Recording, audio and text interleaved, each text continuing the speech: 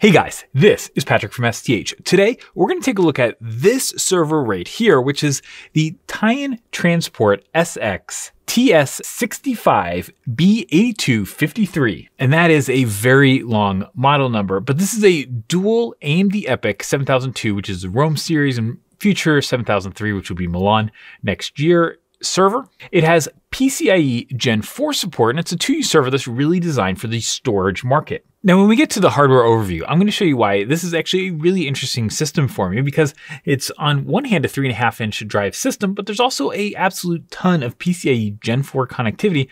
And some of the things that Tyan did in this system were both designed to save costs, but also provide a lot of flexibility. So we're going to go over those things. Now we're going to have timestamps in the description of this video, but basically the game plan is laid out right in front of me. First, we're going to do a hardware overview. We're going to start on literally the front of the server. We're going to work our way back to the rear of the server. We're just going to talk about some of the different parts and what's interesting about each section. We'll also go a little bit into the management, power consumption, and performance.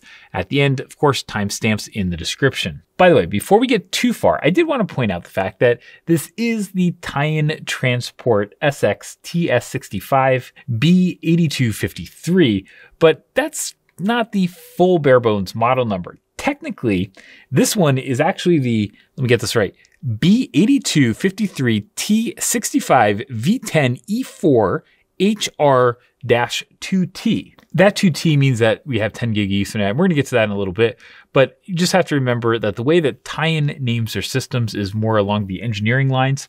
And so they tie more closely in terms of BOM to an actual bare bones like this. And so the reason that we have a super specific model number like that typically in the industry means that we have a company that's using kind of those specific model numbers rather than using a marketing name and then having different BOM options. Just a different way to do it. And this is just shows that Tyan is a little bit more engineering focused than some other organizations. But hey, dual AMD EPYC CPUs, up to four terabytes in memory capacity and tons of PCIe expansion. Let's get looking at the hardware overview. Now, looking at the front of the system, we have things like two USB ports and they're Type A ports, which is actually kind of interesting. We have our LED status lights, power buttons, identification button, all that kind of stuff that you'd expect on the front of a system. And then most of the system, though, is taken up by the three and a half inch bays. Now, there are a total of 12 three and a half inch bays on the front of the chassis. And what Tyan does with these bays up front is something that's really interesting. There's actually a removable drive plane, back plane right here. And that gives Tyan the ability to use different storage configurations. And there's just these little blue thumb screws to be able to take the back plane on and off, which is actually really serviceable and it's really nice because it makes it easy to customize or service later. But what we have in this particular solution is that we have 12 three and a half inch bays, and each of those bays can take a you know traditional hard drive and a SATA hard drive. This system is set up to be able to actually service those 12 SATA bays if you want to without using a SAS HBA or RAID controller or anything like that. You can just run it right off the AMD CPUs. That may not seem like a big deal, but it saves a couple hundred dollars versus going and getting an HBA. So in some storage configurations, that's what people want is extreme cost optimization on that type of data path. And this is a good example of how Tyan is providing that. The other really big feature on these front panel drives is that four of the drive bays can actually be NVMe SSD drive bays as well. So there's wiring on this back plane and there's wiring through the chassis to take PCIe lanes and bring those to the front of the system. We were able to get Kioxia CD6 drives as well as some Samsung 1733 drives eh, to link up a PCIe Gen 4 speeds up front. So that's actually a really cool capability because that means you get an absolute ton of performance out of those four drive bays. And even using those as NVMe drive bays, you still get eight three and a half drives for if you want to like hard drives or something like that, you still can do that in this chassis. Now, building all that flexibility in means that we have a lot of wires that are going to the back because we have both the NVMe as well as the SATA data paths that have to happen as well as power. And hey, as we're going through this server hardware overview, what I really like is for you to take a look and say, hey, these are things that I like in this server. These are things maybe I don't even like. Maybe this is a reason that this server isn't perfect for me or is perfect for me. And if you see things that maybe we're not covering that you want us to cover a little bit more, put those in the comments. I'm going to check them out and see what you guys put down there because I just like to hear your opinions as well and, you know, what we can do better on future videos. But let's keep moving on. Further back, we have the fan partition. Now, there are only three chassis fans in this entire system, which is actually not a lot. Sometimes we see these types of systems with four or five fans, and so having only three fans here is actually not much. Something else that's a little bit different about these fan holders is that they're all metal designs, which is actually a lot different from what we see in the industry. We typically see that these fan holders are plastic units, and so seeing something that's metal is actually just different. These fans still have hot swap power connectors, so they have wiring so you can just pull them out and plop the new ones back in.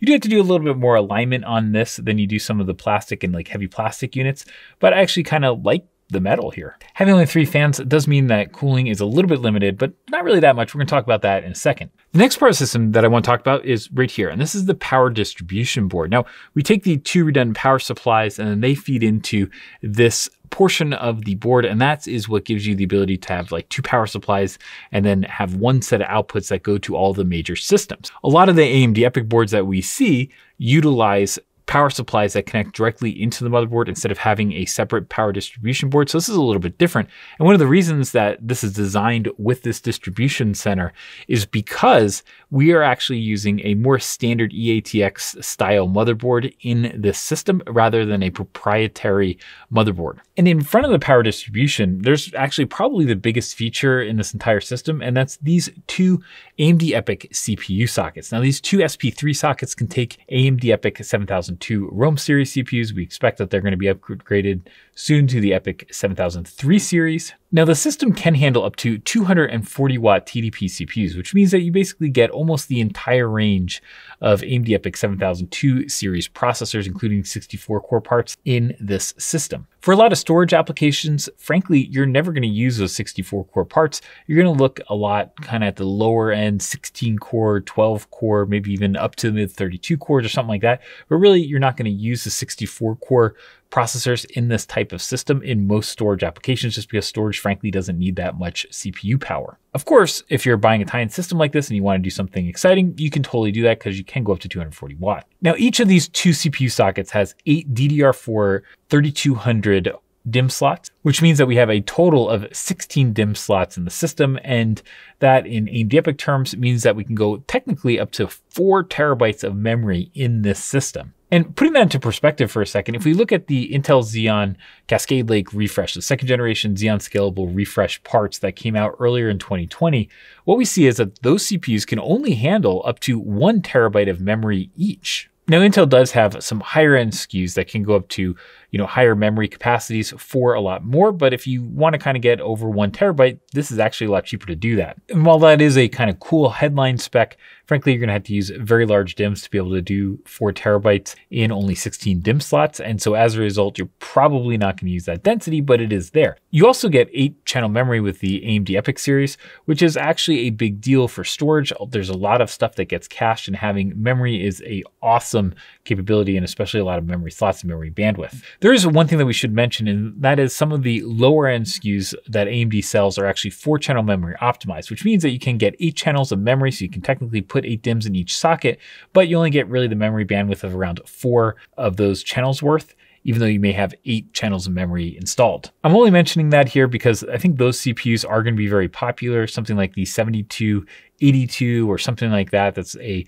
you know relatively higher core count but very low cost, low power SKU is going to be a important CPU in the storage arena. Now, as we move back, what we're going to get to is the power supplies. Now, we get dual redundant 1200 watt power supplies in the system. Frankly, for a system like this, that's going to be absolutely plenty.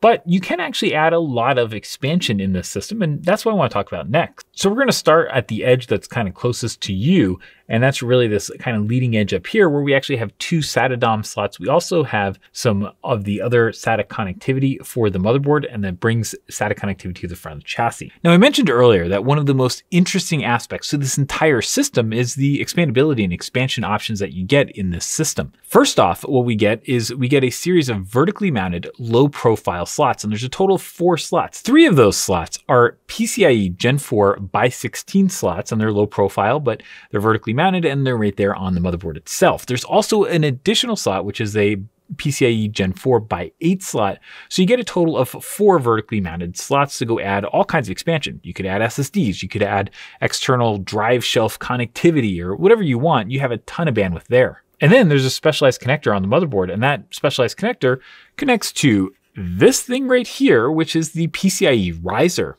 And this piece right here actually has two different purposes. The first purpose is that when it sits in between these CPUs, it kind of goes like right about here, what it does is it actually directs airflow. So you can see how this is a smooth metal portion.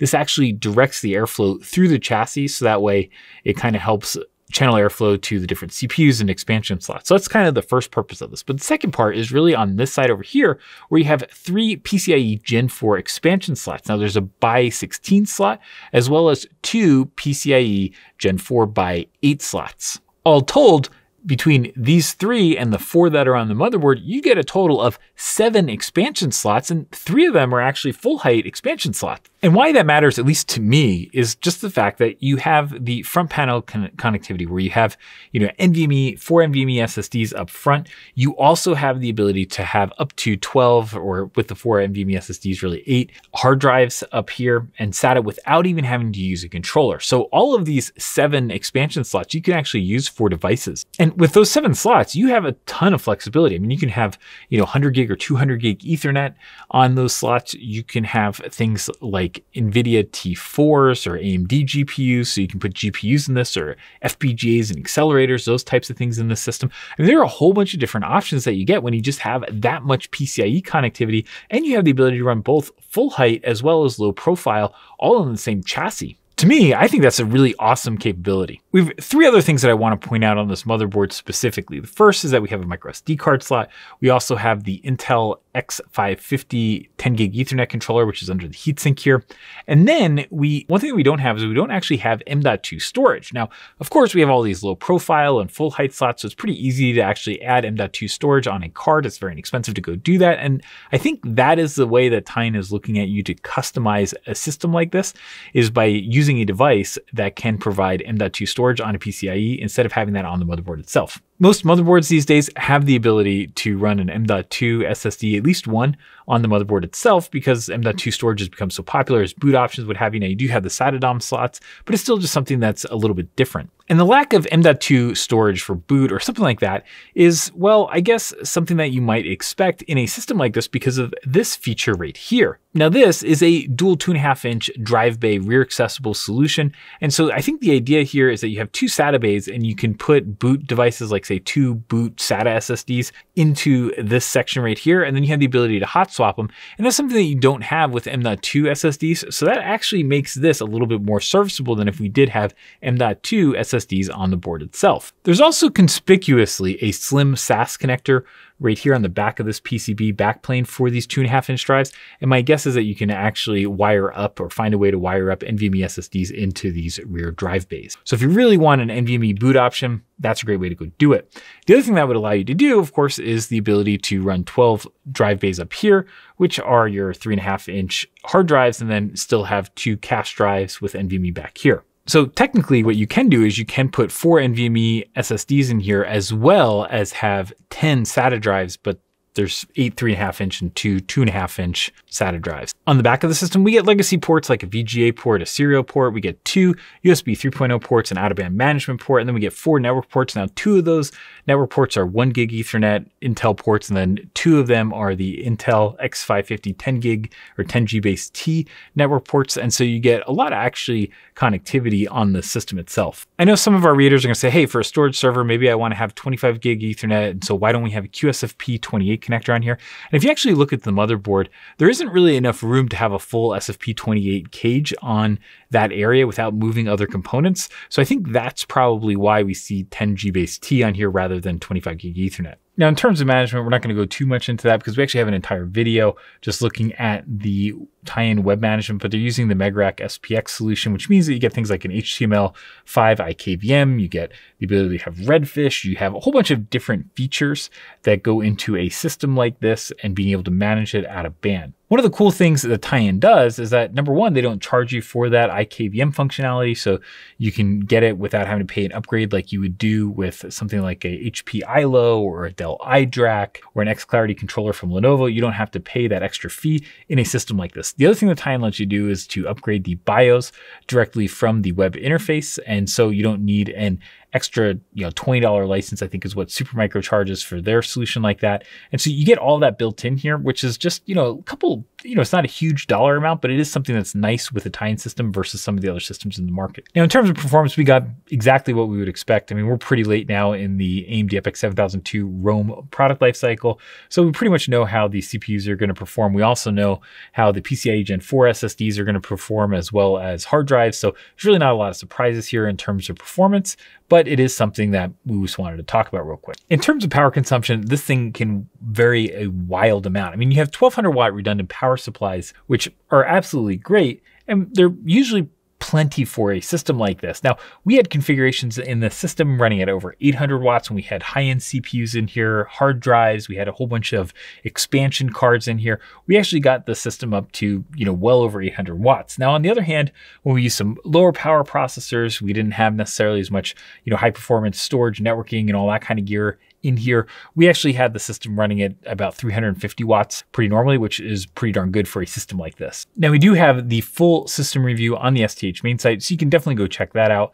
and get more into some of the details. We have the block diagrams and stuff like that up there. So if you want to go see a little bit more detail, you can go check out the STH main site where we write a lot more on these servers. But we are trying to do a little bit more YouTube content. So I wanted to show what the system looks like and some of the features of it. I also wanted to get some feedback and just kind of hear what you guys think of a server like this. I don't necessarily think that this is the server for everyone, but at the same time, it's relatively short depth and it's designed to be more cost optimized, which I think a lot of people in the storage industry, especially that are looking at this specific 2U 12 bay form factor, are going to really like. And hey, if you made it this far, why don't you click on subscribe, turn on notifications so you can see whenever we come out with great new videos. We have a ton more coming both in 2020, but then also when we get to 2021 and we start seeing a lot of the platforms refresh, we're going to have a ton of coverage on both the CPUs and servers that are going to be involved in that. And so check out the STH main site and check back here. As always, thanks for watching and have an awesome day.